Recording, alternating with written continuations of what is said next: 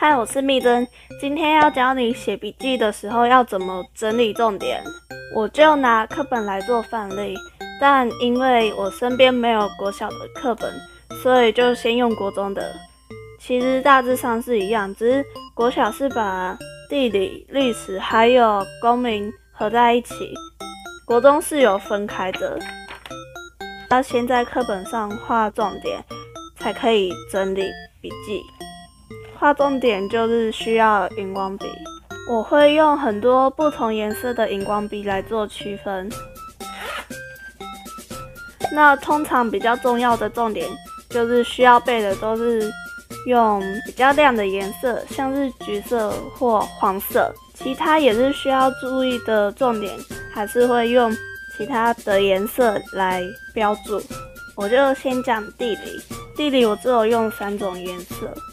黄、橘还有粉，最主要要注注意到的都是用黄色、粉红色，我都是拿来画原因之类的，像是这一个影响人口分布的原因，下面粉红色画起来的全部都是原因。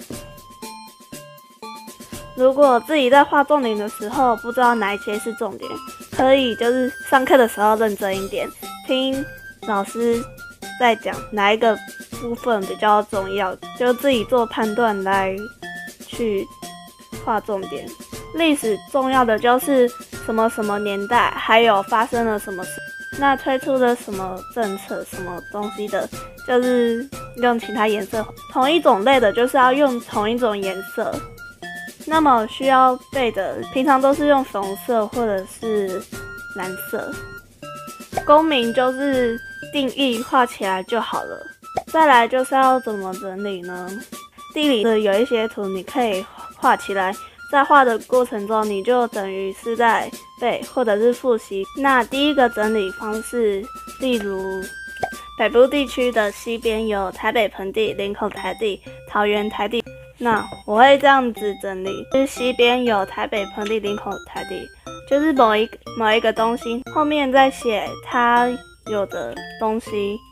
然后下面这个一二三就是写特征，这个台北市、新北市也是，后面就是写该注意的重点、该背的东西。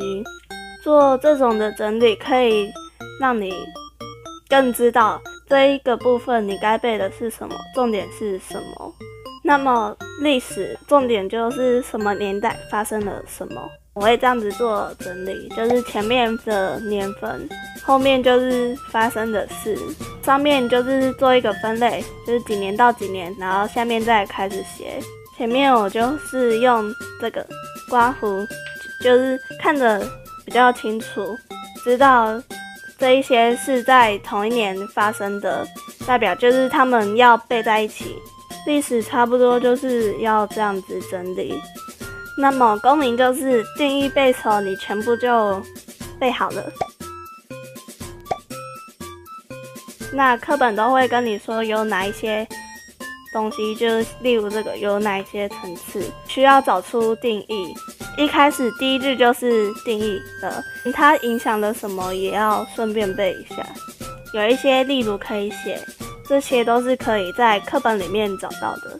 今天要教的差不多都是这些了，但我也讲的没有很完全，所以这些可以就是提供你做参考。还有什么问题可以在下面留言问我，或者是私讯找我。下次可能会做自然科的重点整理，所以要订阅我。那我是蜜珍，下部影片见，拜拜。I see that see.